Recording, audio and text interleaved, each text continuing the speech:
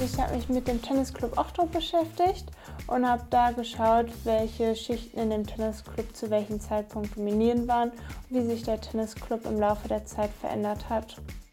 Ja, es war einfach der Bezug von Sport und Gesellschaft, weil ich mir hier vor allem in Ochtrup, wir sind sehr ländlich gelegen, nicht vorstellen konnte, wie manche Menschen aus dem Tennisclub Ochtrup bewusst ausgegrenzt worden sind. Ja, es äh, war so, dass Tennis elitär war. Ja.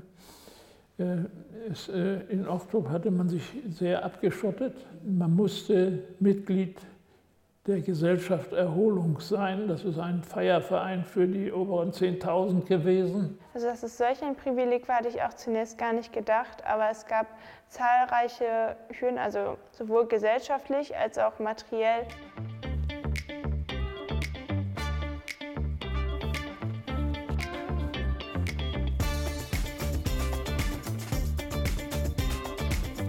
Also ich hatte die ganze Zeit ein Gefühl von Unsicherheit während der Arbeit weil ich ja zum einen bei den Quellen immer gezweifelt hat, ob ich überhaupt noch das Richtige finde, ob das jetzt Sinn macht, was ich da schreibe, ob das passt. Dass sie sich da dann durchgearbeitet hat, dass sie auch wirklich sehr akribisch vorgegangen ist, sehr methodisch dabei vorgegangen ist und auch den Zeitaufwand, den sie da betrieben hat, das war echt, ähm, echt à la Bonheur, muss ich sagen.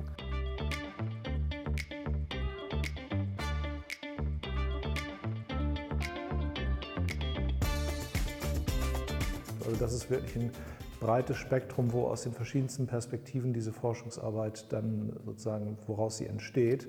Äh, und das macht sie eben auch so wertvoll als Forschungsleistung.